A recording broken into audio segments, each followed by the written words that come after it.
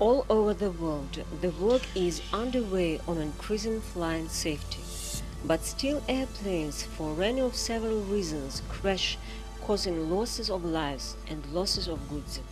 From the beginning of time of air passengers conveyance, a passenger has been a participant in flight and has entrusted his life to the crew and airplane.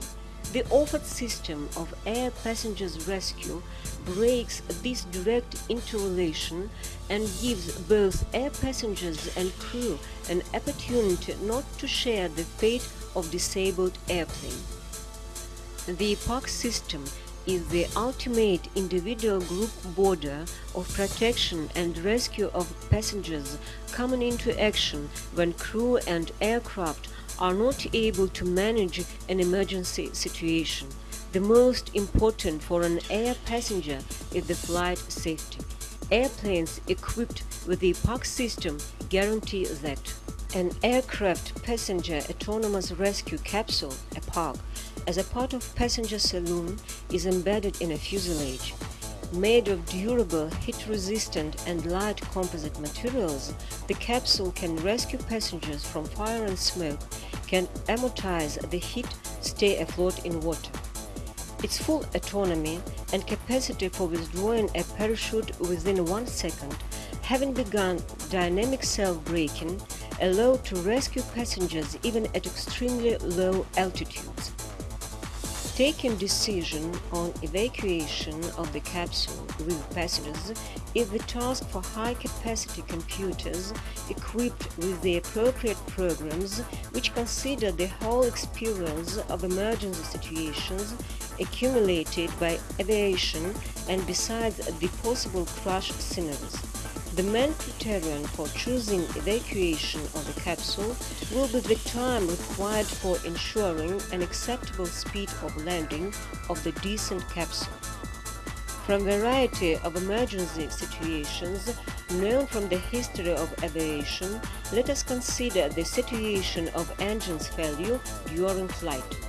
In places of attaching wings to a fuselage, along the fuselage and around the fuselage, between its forepart and the pilot cabin, capsules and rear part of the fuselage, there are elongated hollow charges embedded. By blasting these charges, it is executed almost instantaneous exploding cutting of the fuselage and its skin that will lead to the detachment of the fuselage fragments from the rescue capsule and will allow to activate the parachute braking system. The rescue capsule is equipped with a parachute for retarding horizontal velocity, main parachute and original self-braking system guaranteeing soft landing for passengers. Let us consider functioning of the APARC system in case of emergency at takeoff or landing. Because of the low altitude, the evacuation of the capsule must take minimum time. This means simultaneous activation of the elongated hollow charges that release the capsule from the fuselage skin.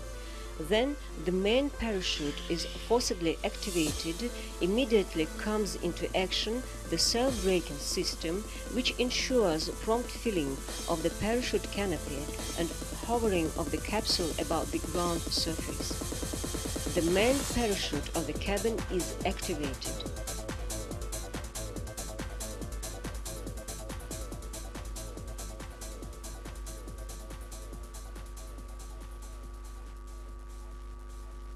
Let us view the scheme of the APARC system functioning in a passenger aircraft. Specific character of a passenger aircraft is the availability of several capsules for rescuing passengers and goods and accordingly slightly different from the shown above scenarios of evacuation of the capsules. In case of emergency, an aircraft warning is sounded and the passengers immediately take their places. The doorways of the capsule and the pilot cabin are hermetically closed. The commands are given to activate the elongated hollow charges that cut off the airplane's tail end and wings from the fuselage. Then goes out the flank parachute